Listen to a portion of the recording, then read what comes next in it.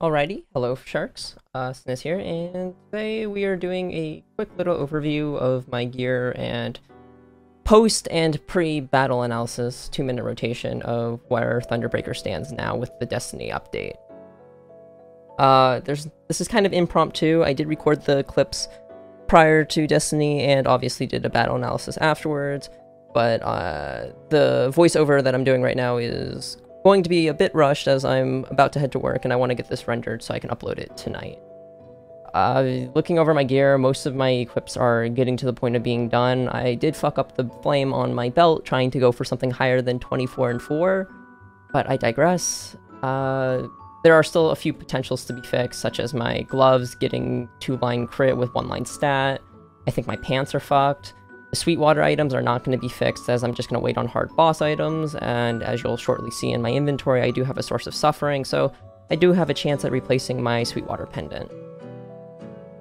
Other than that, the gear is getting closer and closer to being done, and I am, with the Kish nerf, I'm not farming nearly as much, uh, but we'll see where things go. On topic of the battle analysis, there are a few discrepancies that I want to make known right now. I did have a few extra buffs, and I did pop, uh, what was it? I popped the Will skill and the Seren skill for one of the tests, but not for the other. So there are some discrepancies, and I would can't really downplay them and say they're minor, but I'm also too lazy to retest. But according to other Thunderbreakers that I've talked to in the community, it seems that like our average dummy battle analysis increase is looking to be around anywhere from 30% plus. I got close to 50% because of the discrepancies, but I have heard that 38 is not unheard of, even 40 is not unheard of.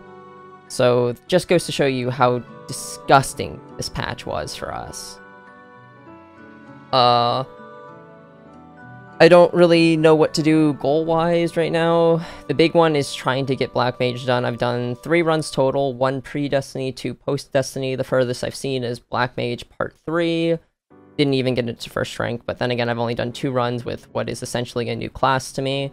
I cannot control myself nearly as well as I was able to beforehand, but at the same time, I have a lot more fluidity and flexibility with my control. It's just that I'm not used to how it controls.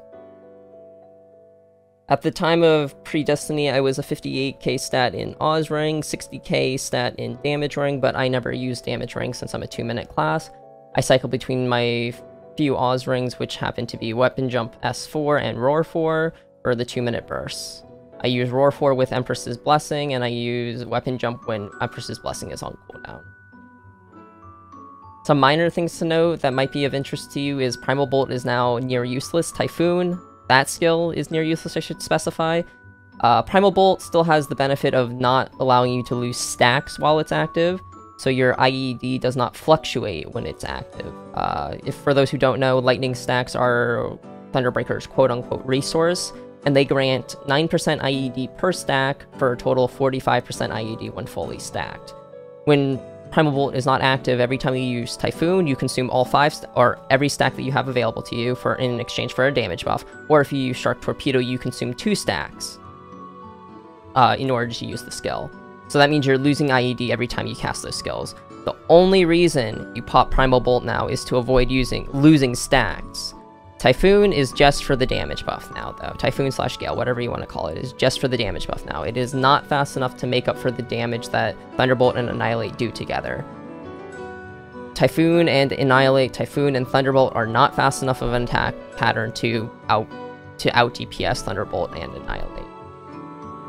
Uh, granted, that should be fixed in the Ignition patch, which is coming this winter, and still has not released in KMS, but at the time of writing this in the current KMST, it is not. It's like, it's barely better to not better at all, depending on your hyper setup, if I remember correctly, but I haven't done a ton of research into it. I just know that it's on the verge. It's like, it's on, it's on the line of being better.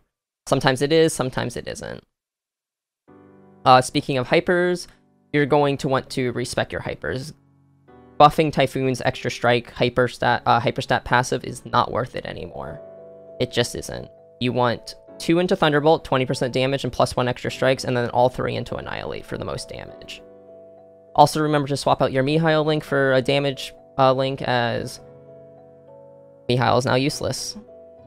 Uh, other than that, I think I've been talking for the entirety of this recording, so I will see you sharks later.